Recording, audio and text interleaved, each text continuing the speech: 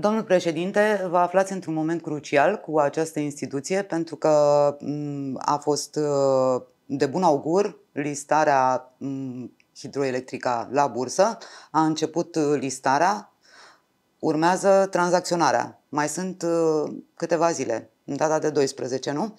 Bun. Deci din acel moment, ce putem spune, la ce ne putem aștepta după această tranzacționare a acțiunilor uh, la BVB.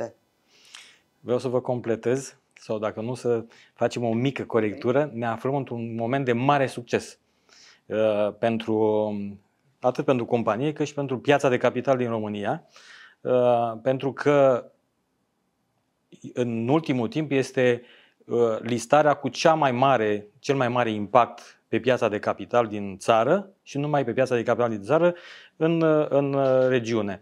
Piața de capital din România trebuie să ajungă într-un moment în care să poată să dicteze în zonă un anumit trend. Și de ce spun lucrul ăsta? Spun lucrul ăsta pentru că uh, noi împreună, statul român, împreună cu OECD, Uh, în urmă cu câteva luni am aprobat prin hotărâre de guvern strategia, de, strategia pieței de capital.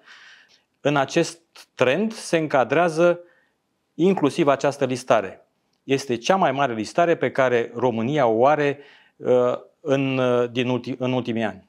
Când au venit la voi cei de la uh, Hidroelectrica pentru această listare, pentru a solicita? Listarea uh, respectivă? Discu- discuțiile au fost uh, făcute în urmă cu mai mult timp, în, în momentul în care acționarii au hotărât uh, list, listarea, listarea hidroelectrică. Prospectul pe care noi l-am aprobat a fost uh, trimis către noi în urmă cu, dacă nu mă înșel, cu vreo două săptămâni. Uh, în, în acest context, uh, în autoritatea... În urmă cu două săptămâni.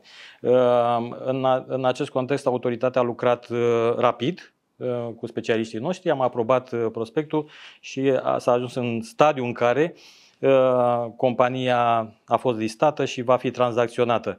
Dar procedurile pentru, că, pentru ca această companie să fie listată numai în România au fost începute de mult timp, pentru că atât eu, atât noi, echipa autorității, cât și uh, statul român sau acționarii hidroelectrica au, și-au dorit ca această companie să fie, să fie listată numai în România. Noi am mizat pe listarea numai în țara noastră și cred că, nu cred, sunt convins, sunt sigur, vedem uh, rezultatele acum uh, și câștigăm prin miza pe care am, am făcut-o pe o singură listare și anume în, în țara noastră.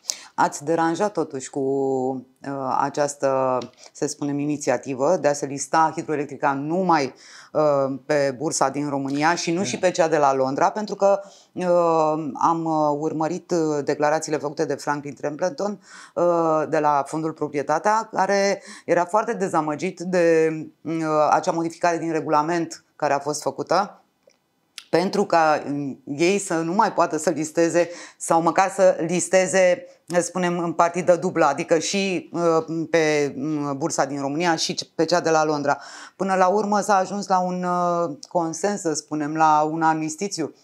Nu, trebuie să recunosc că în urmă cu un an și ceva de zile eu am fost destul de tranșant și la o conferință care se desfășura, cred că pe la Brașov, am spus foarte clar că trebuie să ne iasă din cap uh, două listări Uh, trebuie să ne concentrăm pe o singură listare și anume o listare în România, pentru că piața de capital din România poate să susțină această listare.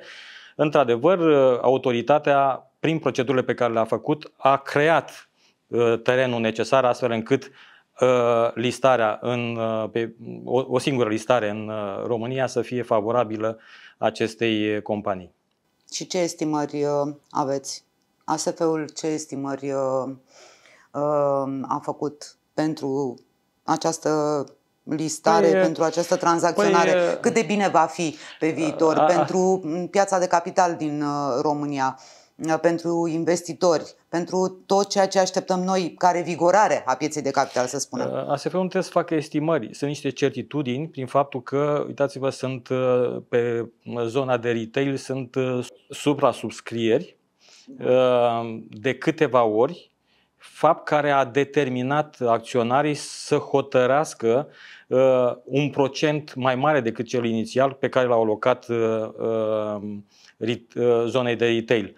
Uh, ce se așteaptă cu această companie? Uh, statul, compania are așteptări ca uh, dezvoltarea ei să fie mult mai mare. În primul rând, printr-o transparență uh, mult mai mare, printr-o guvernanță pe care trebuie să și-o, și-o asumă cu această listare.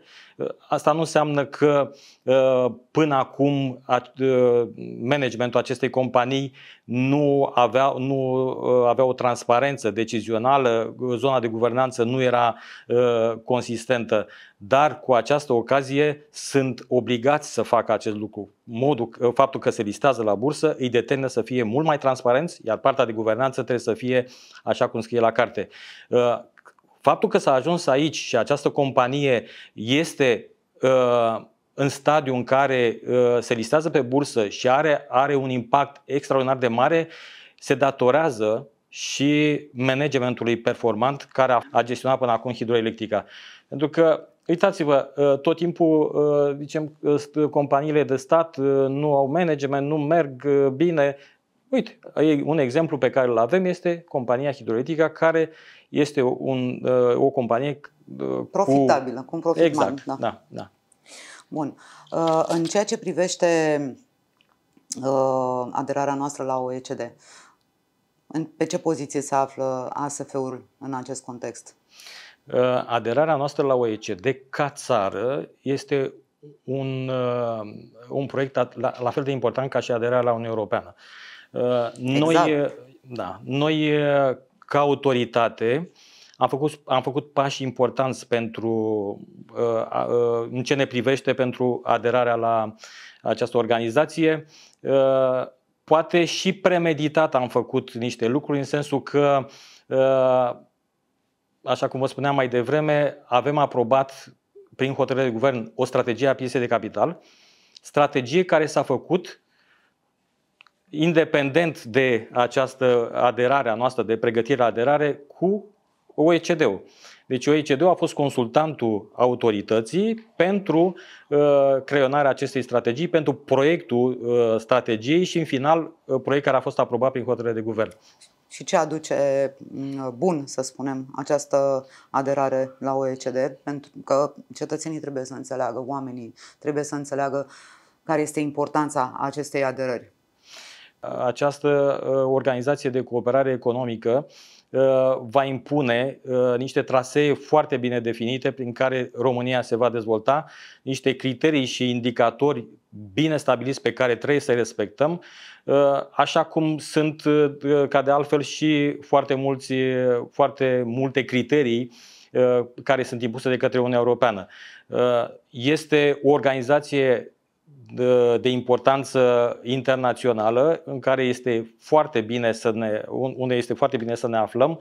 Și pot să spun că din grupurile noastre de lucru interinstituționale se vede că România a luat-o în serios, a, a luat în serios acest lucru și se fac pași foarte, foarte uh, rapizi pentru această aderare. Au trecut, sunteți pe final de rest de mandat pe care l-ați uh, prins aici, în fruntea uh, acestei instituții și dacă tot uh, suntem la un bilanț, să zicem așa, uh, aș vrea să împunctați care sunt următoarele ținte pe care uh, ASF-ul uh, le are și Uh, dacă credeți că le și va atinge uh, destul de rapid, să zicem, poate chiar până uh, anul viitor. Vreau să vă spun un lucru vis-a-vis de autoritate. Autoritatea a devenit o instituție puternică, este o instituție respectată în piață, este o instituție care a fost extrem de transparentă în ultimii ani, am, am avut o colaborare permanentă cu cele trei piețe, cu actorii în cele trei piețe pe care le supraveghem, uh, dar în același timp uh, n-am ezitat să luăm decizii și să luăm măsuri să corectăm piața. Nu mai intrăm în amănunte, știți că uh, și dumneavoastră presa ați publicat de multe ori procedurile noastre ne-au obligat să facem publice deciziile noastre numai în ultima fază în care am, a trebuit să le și aplicăm. În acest sens, uh, uh, vreau să vă spun că uh, viitorul pe care eu îl consider că trebuie în, în, în această direcție trebuie să meargă este supravegherea integrată a piețelor pe care noi le avem în administrare, în administrare și în supraveghere. În, în România funcționează în, în acest moment foarte multe grupuri financiare, multe grupuri financiare care lucrează pe cele trei piețe. Este nevoie de o supraveghere integrată. Trebuie să depășim barajul sau depășim uh, etapa în care uh, autoritatea lucra independent pe fiecare piață pe care o, o supravegheam, respectiv asigurări, pensii private și piața de capital. Este nevoie de o supraveghere integrată. Și ce spun grupurile financiare? Despre această supraveghere integrată? Nu știu, nu, e, nu, e, uh, nu este decizia avut, uh, grupurilor uh, financiare. Dacă este decizia. Știu, nu, nu, nu discutăm despre strategia pe care autoritatea o are cu grupurile financiare. Noi ne consultăm cu ei în ce privește funcționalitatea, operaționalitatea pe care piețele o, o au în, sau companiile care funcționează în piață o au. Și atunci preluăm de la, de la piață Uh, uh, propunerile lor, uh, le integrăm în norme acolo unde este nevoie sau unde este necesar și ne consolidăm legislația. De aceea insist să vă spun că singura soluție și etapa uh, următoare este această supraveghere integrată, astfel încât să fim uh, în pas cu tot ce se întâmplă în piață. Noi am început procesul de digitalizare, nu merge atât de repede cum ne-am fi dorit, dar cred că într-un timp relativ scurt o să ajungem în stadiul în care să spunem că avem o informatizare atât de bună încât știm în timp real sau în timp, uh, într-un timp extrem de scurt, de pe o zi pe alta, tot ce se întâmplă în, uh, în uh, piețele pe care noi le supraveghem. Și cât costă? La cât se ridică? Am făcut o estimare pe, pe costurile produse. care sunt uh, avem, la, pentru digitalizare. N-am făcut integrată. o estimare la cât se, uh, la cât uh, se ridică toate, toate nevoile noastre. Numai că în momentul ăsta știm ce avem de făcut sau știm mai de mult ce avem de făcut, suntem în, în procesul, în acest proces și ideea este că trebuie să-l îl mișcăm mai mult. Sunt procedurile legale care ne determină să rămânem în acele ă, tare, respectiv sunt proceduri de licitație, da, sunt etapizarea, etapizarea procedurii exact. respective. Da. da. Noi ne dorim să fim mult mai să întâmple lucrurile mult mai repede, astfel încât supravegherea noastră să fie mult mai eficientă. Uh, domnul președinte, o ultimă întrebare. Din uh, punctul de vedere al cetățeanului, sau mai bine zis, cetățeanul, unde se află el la acest moment în relația cu uh, instituția? Cât de mm, important este, să spunem, pentru oameni că dumneavoastră vreți să realizați, să aveți aceste ținte și pe piața asigurărilor și uh, în ceea ce privește pensiile private. Mm, știm foarte bine că mm, nu e chiar uh, așa un nivel de trai decent uh, de care se vorbește din punct de vedere constituțional sau e stipulat în Constituție în România. Mulți oameni o duc destul de greu și atunci uh, uh, ei socotesc uh, că n-au nicio șansă sau n-au niciun câștig, nici uh, uh, pe piața asigurărilor, nici uh, în ceea ce privește pensiile private. Dați, să spunem așa, pentru final, uh, un mesaj cetățeanului. Nu, cetățeanul trebuie să aibă uh, încredere totală în instituțiile statului. Eu cred că uh, o încredere mult mai mare în instituțiile statului este benefică cetățeanului. Știu că sunt uh, foarte mulți oameni care uh, nu-și permit să-și facă asigurare, nu-și permit să-și facă o pensie sub, uh, suplimentară față de pensie de pilo, uh, pilonul 2. Nu își permit sau nu știu cum să uh, investească la bursă. Dar uh, rolul nostru uh, al autorității este acela de a veghea la protecția uh, consumatorului și a investitorului lucru pe care vă garantez și vă, uh, pot să vă spun că uh, asta, asta facem, cel puțin de când am venit eu aici.